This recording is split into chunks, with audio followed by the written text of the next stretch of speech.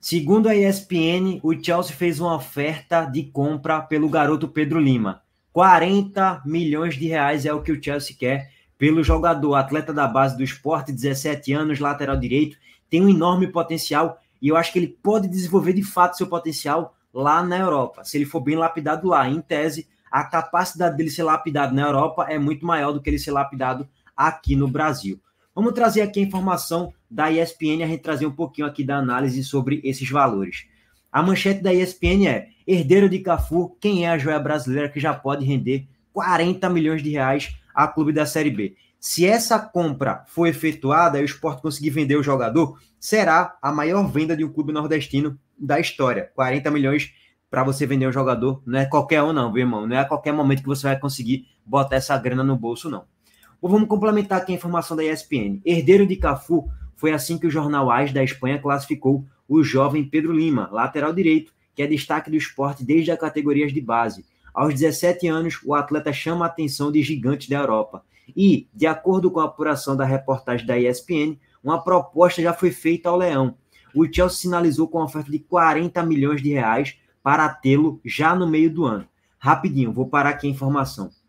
Todos sabem que o próprio Jornal AS publicou que tem vários clubes europeus monitorando o atleta, né? Não necessariamente que fizeram a proposta, mas que o Real Madrid tá, estava interessado em monitorando o atleta, o PSG e alguns outros clubes da Europa, inclusive na Terra da Rainha. O Chelsea e o Liverpool também monitoraram bastante o jogador faz dois meses. Foi as primeiras informações que saíram de Pedro Lima possivelmente saindo para a Europa. Foi Chelsea e Liverpool. E aí está se concretizando, segundo a apuração da ESPN, que o Chelsea já fez essa oferta de 40 milhões. Só um ponto rápido: a multa de Pedro Lima é de 15 milhões de euros para transferências internacionais. Se você for pegar a cotação do euro atual, dá mais ou menos 83 milhões de reais aproximadamente a multa para ele sair do esporte. Multa para transferências nacionais, 10 milhões de euros, o que dá ali na casa de 50 e vamos botar ali 55 milhões de reais por volta disso, um pouquinho mais para lá ou para cá, dependendo da cotação do euro, né? Aí vai variar, obviamente. Mas vamos complementar. Com Pedro sendo inicialmente emprestado ao Strasbourg na primeira temporada, ou seja, o Chelsea compraria 40 milhões. Não disse aqui exatamente por quantos por cento o Chelsea ia querer. Eu não acho que seria por 100% de direitos econômicos. Acho que seria, sei lá, 70, 80. Óbvio que existe ali uma negociação, né? É, até porque a multa dele é de 80. Então, em tese, se você bota 40, em tese é 50% da multa. Então, você chegaria ali a um acordo para 80%, sei lá, 40% por 80%, ou 40% por 70%, ou um pouquinho mais ou um pouquinho menos, em tese é isso. O esporte ficaria, sei lá, com 10, 15, 20% e teria o percentual de clube formador. Enfim, só para colocar um ponto aqui que não se chegou nesses valores percentuais, tá? Segundo a apuração da ESPN, eles não destrincharam os percentuais. Mas está claro, ele iria ser emprestado para o Strasbourg. E vamos aqui rapidamente colocar o plantel do Strasbourg, só para ter uma noção de como é o Strasbourg na Europa, né? É um clube da França que joga a primeira divisão do campeonato francês, é, que nesse momento, nessa temporada, ficou aqui na 13 terceira colocação com 39 pontos, um time de meio tabela para baixo que brigou até para não cair. Rapidamente o elenco do Strasbourg aí na, nessa temporada, tá? Teve alguns brasileiros, inclusive Andrei Santos, muito bom volante que saiu do Vasco da Série B justamente para a Europa, para o Chelsea e aí depois ele jogou, acho que chegou a jogar, acho que um, dois jogos na Série A, talvez, alguma coisa assim do tipo, ou até um pouquinho mais, uns cinco, seis jogos, e depois ele foi vendido para o Chelsea, né? E aí ele foi emprestado para o Strasbourg. Ângelo, do Santos, aconteceu literalmente a mesma coisa. Mais um brasileiro que saiu da Europa para o Chelsea, do Chelsea tenho quase certeza tá, ele foi para o Chelsea de lá, o Chelsea emprestou para o Strasbourg. Então tem dois brasileiros ali, os dois meio-campistas, né? De resto, é a galera mesmo da França e de outros países aqui, tá? Tem o Kevin Gamerro, que é centroavante, já foi de seleção é, francesa, no caso. É, descendo aqui mais um pouquinho, tem o Sissoko, é, conhecido também demais. O Diarra, muito conhecido também. Tô descendo aqui só para passar um ponto rápido aqui do, do que é que tem o Strasbourg na, no seu elenco, basicamente, tá? É, e quando a gente volta aqui para os defensores, tem o Saido Soul, tem o Abacarcila, tem o Carol Fila, Frederic Gilbert, eu não conheço muito esses jogadores, Lucas Perin, Marin Senaia, Steven Baceia e por aí vai, tá? Basicamente esse elenco do Strasbourg é o time de meio tabela para baixo do campeonato francês, que já não é um campeonato muito de alto nível na Europa, mas ele pertenceria ao Chelsea e seria lapidado lá na Europa, isso é um ponto positivo, né? Bom, vamos complementar agora a informação. Abre aspas. Existem de fato sondagens de grandes clubes da Europa. Sabemos de muitos clubes que estão monitorando ele, mas não há nenhuma proposta concreta. Não há nada hoje formalizado por enquanto. Mas não temos a menor dúvida de que Pedro Lima vai ser um dos grandes nomes do futebol brasileiro nos próximos anos. Foi o que afirmou o João Marcelo Barros, diretor do Comitê de Gestão do Esporte.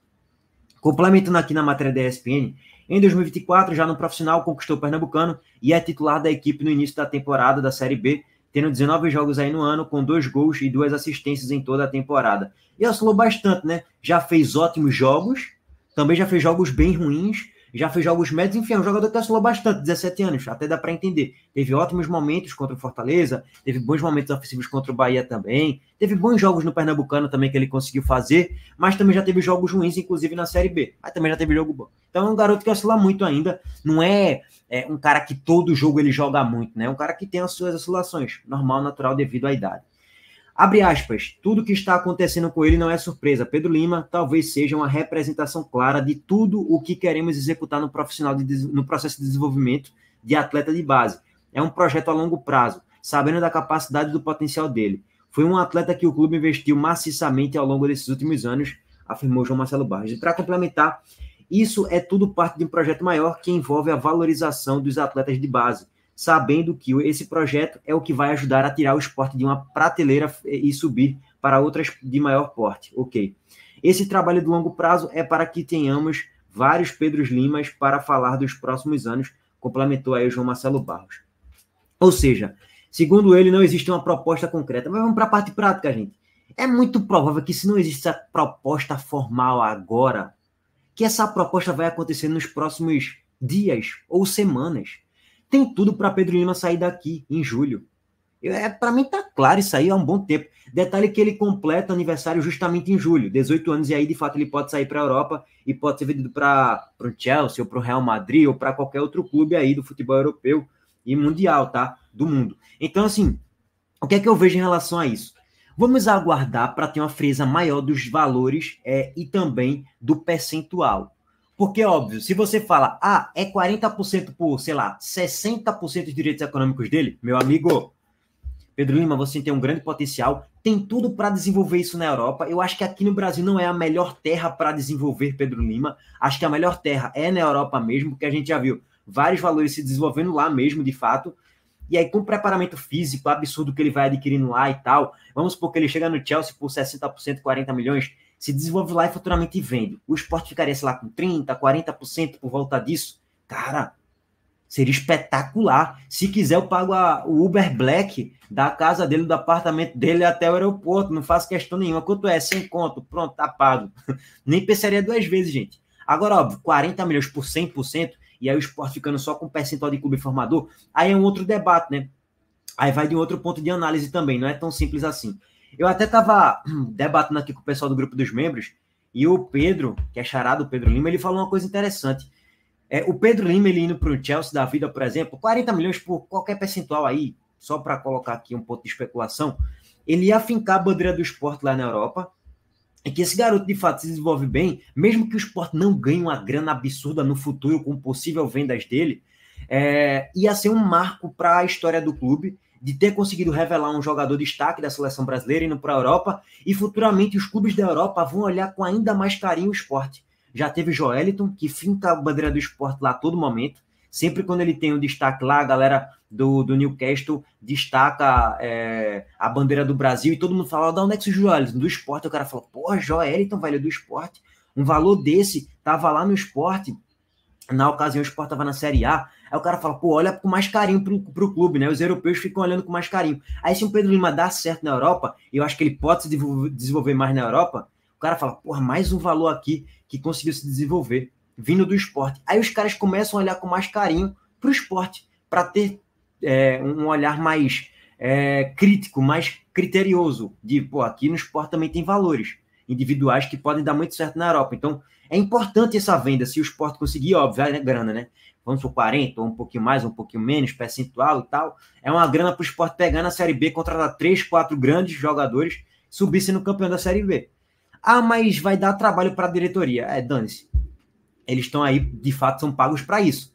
Para observar jogadores no mercado, monitorar e contratar. Então, é um valor para mim bem significativo seria possivelmente a maior venda da, de um jogador aí de um, do Nordeste, né? Então, eu vejo que é interessante estudar com carinho se vem essa proposta percentual, tem que ser analisado com frieza, né? Sei que tem gente falando agora, pô, será que não é melhor esperar para 2020 2025, aí o esporte sobe sendo campeão e valoriza ainda mais o atleta. Tem esse ponto de vista aí também. Ele pode ter um destaque muito grande daqui para o final da Série B. Não sabemos, o tempo é que vai dizer. Mas, quanto mais o tempo vai passando, menor o tempo de contrato com o esporte, vai diminuindo a, multa pela obviedade, quanto men menos tempo é, de contrato ele tem com o esporte, menor é a multa, então o valor também cai um pouquinho ali. Mas óbvio, né? Tudo vai do ponto de depende da especulação do futuro e como é que vai ser o desempenho dele na Série B. Será que ele vai ter um grande protagonismo ou não de fato? Enfim, é tudo muito no campo ainda da, da incerteza, né? No futuro a Deus pertence, ninguém sabe de nada.